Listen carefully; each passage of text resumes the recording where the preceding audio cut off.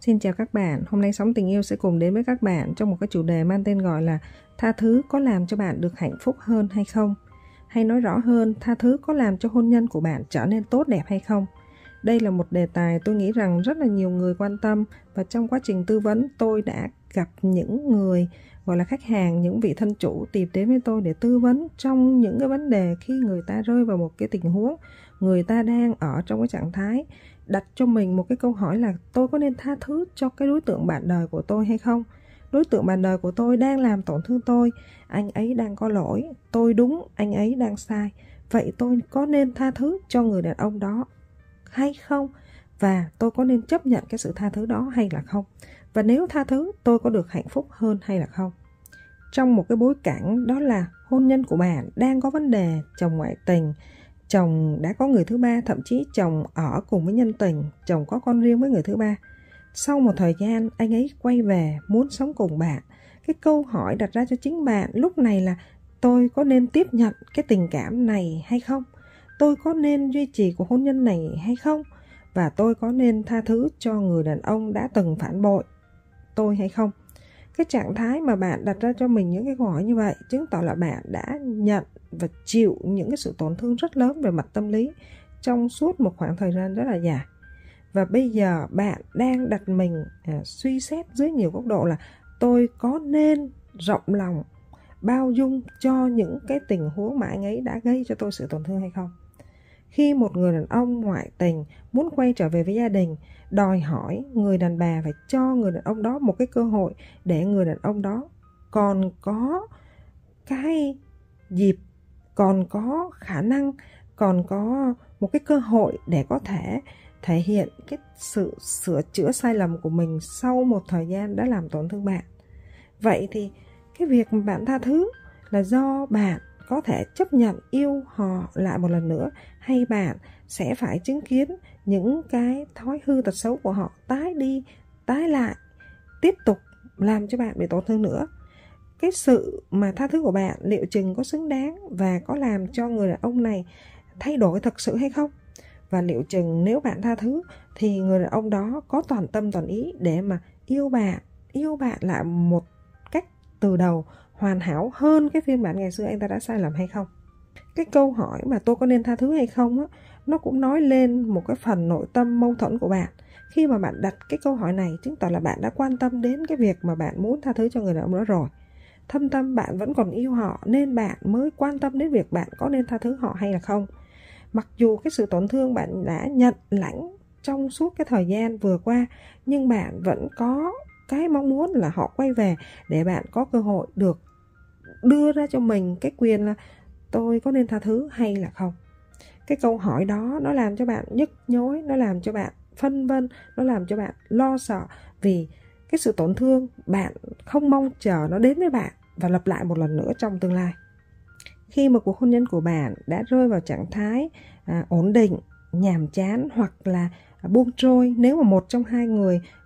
có những cái dấu hiệu à, lơ là trong cái việc xây dựng ừ, để mà vun đắp, chỉnh sửa cho cuộc hôn nhân trở nên tốt đẹp. Thì người đàn ông, họ giải quyết những cái sự buồn chán, những cái sự bế bách và những cái vấn đề nan giải của bản thân bằng cách là họ tìm kiếm một người nào đó để chia sẻ hoặc là họ đi tìm một mối quan hệ khác để giải tỏa những cái ức chế mà trong hôn nhân hiện tại không có lối thoát hoặc là không có thể thống nhất ờ, và không có thể đồng quan điểm để chia sẻ, gọi là mất kết nối ngay tại trong cái cuộc hôn nhân hiện tại, tạo nên những cái vết nứt mà khiến cho họ không thể kết nối với cái người bạn đời của mình nữa.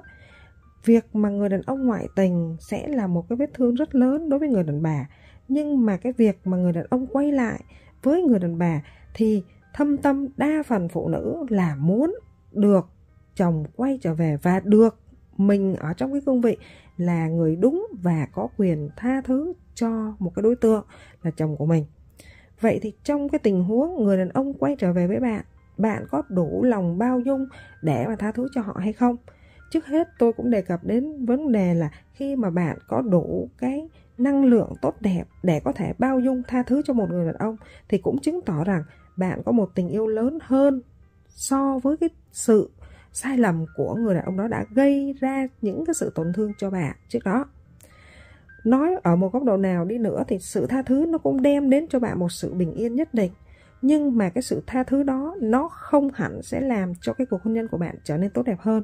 Và nói rõ hơn là sự tha thứ của bạn chưa chắc nó đã là một cái dấu hiệu tốt để mà xây dựng cuộc hôn nhân của bạn trở nên tốt đẹp hơn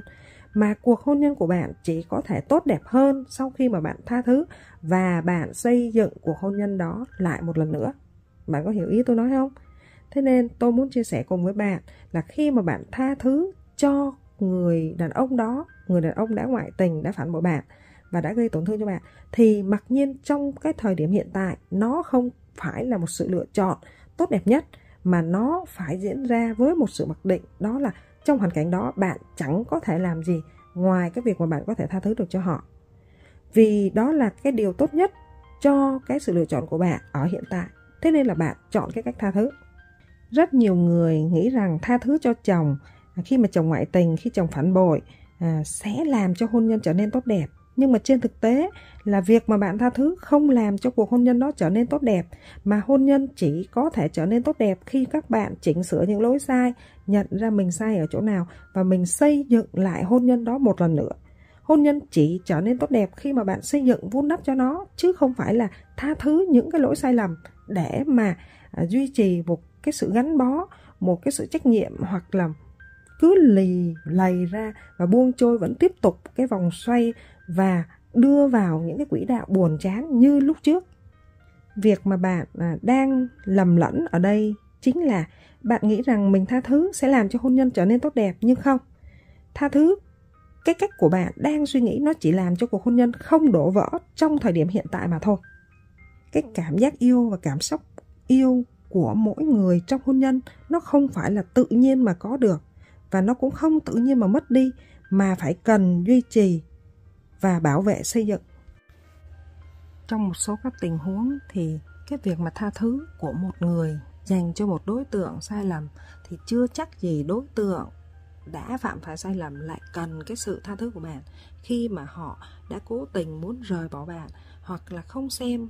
và đón nhận cái sự tha thứ của bạn là một cái cơ hội để họ chỉnh sửa. Việc bạn tha thứ cho người khác thì người khác có cần và có nhận hay không lại là vấn đề của họ. Nhưng mà chắc chắn rằng khi bạn tha thứ cho người đó chứng tỏ là bạn cũng tự tháo gỡ những khúc mắc trong lòng. Và việc mà bạn tha thứ cho một đối tượng nào đó có thể không làm cho mối quan hệ của bạn tốt đẹp hơn, nhưng mà chắc chắn làm cho trái tim của bạn được bình an và lành lặn sau những tổn thương mà họ đã đem đến cho các bạn rất là cảm ơn các bạn đã lắng nghe phần chia sẻ của tôi trong ngày hôm nay. Xin chào và hẹn gặp lại các bạn.